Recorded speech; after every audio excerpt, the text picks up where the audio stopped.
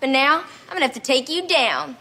You know, I think you have a little crush on me. Ew, no. Yeah, I think you do.